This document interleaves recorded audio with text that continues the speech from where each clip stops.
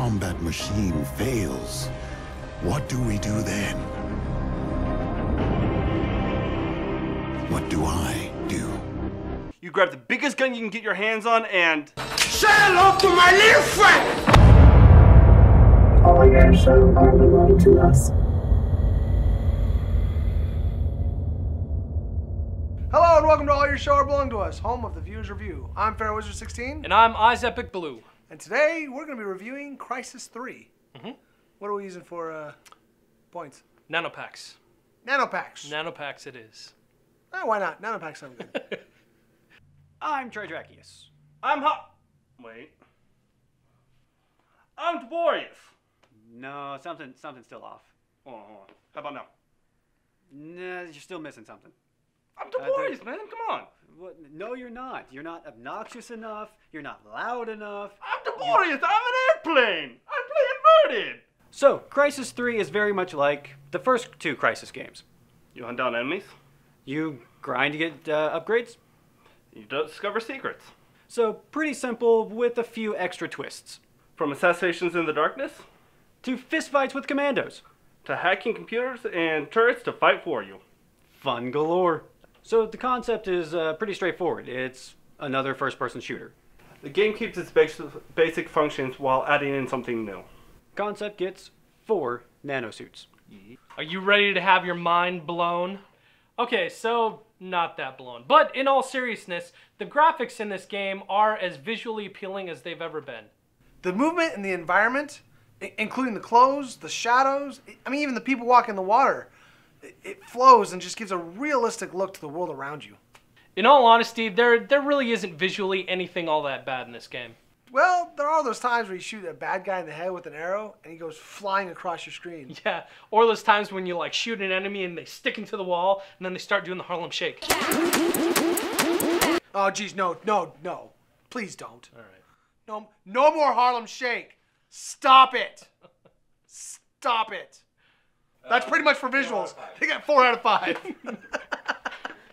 Now, let's talk about music and sounds. It's epically exploderific. Google it. Just listen.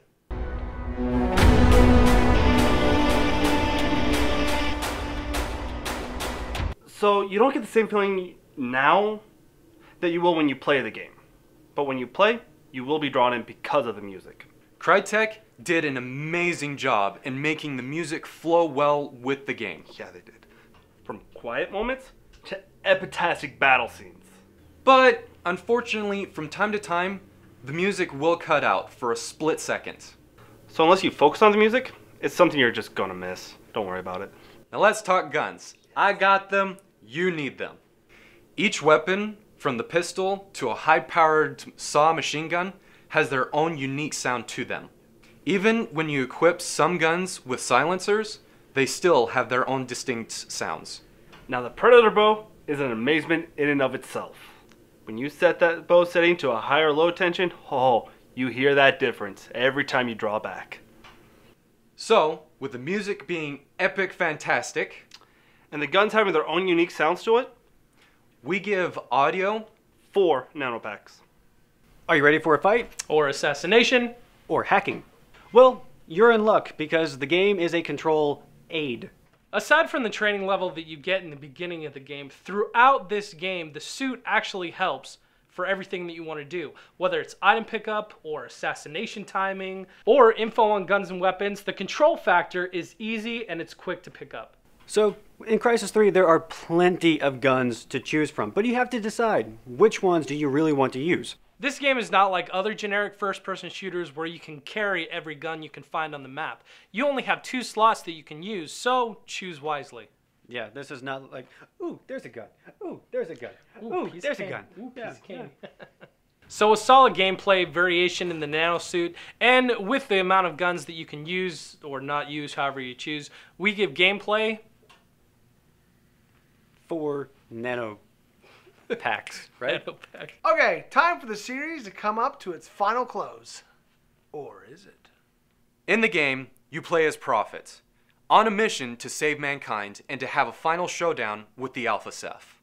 And to make him sound more pathet- prophetic, he has visions of what would happen if he fails his mission. Creepy. Throughout the game, you come across new friends and allies, and old ones as well. Including Psycho. He really does live up to his name. Yeah. See? Good old friends. In the game, you see through the eyes of a man who's trying to bring down the alien's power. But really, who isn't these days?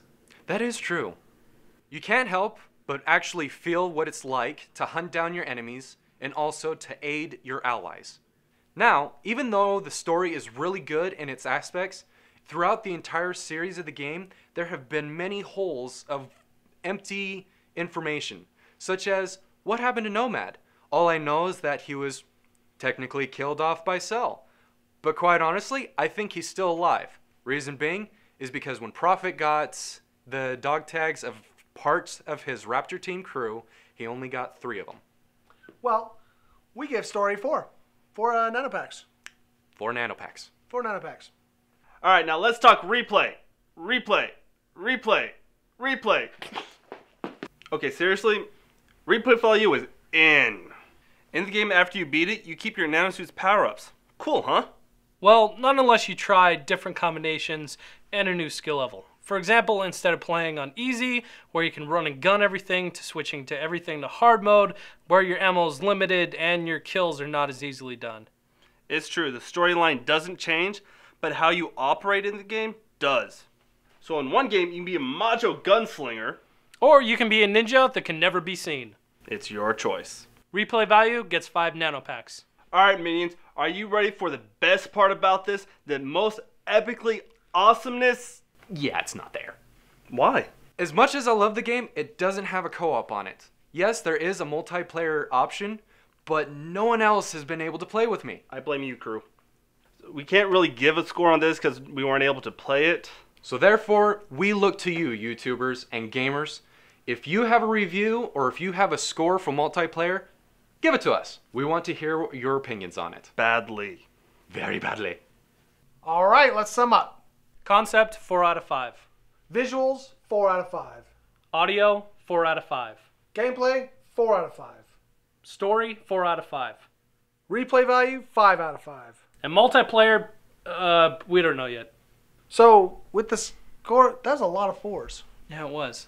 I guess this game is slightly above average. So with, with the total score of 25, uh, we say go pick up the game, especially if you're a fan of the series, And to pick up your copy, head on down to All Your Base, our belong to us. where they buy, sell, trade, use video games. Best prices in town. So, what did you guys think? Have you played the game yet? Leave us a comment down below and let us know. Be also sure to be also sure. Yep, Be also sure. Be also be sure. Oh, you got this.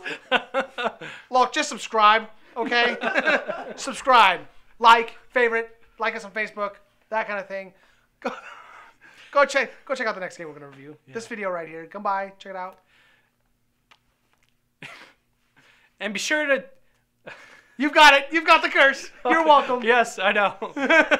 Anyways, if you want to be part of our upcoming reviews, go ahead, videotape yourself, send it, upload it to YouTube, send us the link, and you could be part of the show.